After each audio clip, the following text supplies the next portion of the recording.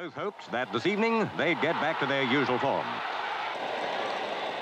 Leek was going through when Sheffield goalkeeper Hodgkinson grabbed his foot. Penalty. Hodgkinson saved King's shot. As the Leicester forwards couldn't score, their right-back Chalmers took a shot. Only Hodgkinson's brilliance kept the ball out. No score at half-time. Then the game sprang into dramatic life. The ball went to the Leicester right wing. Howard Riley had it. He tried a shot. Hodgkinson only partly cleared, and Walsh banged it home. After 257 goalless minutes, Leicester were one up. They scented victory and attacked again. Now Leicester centre forward Ken Leek shot goal number two.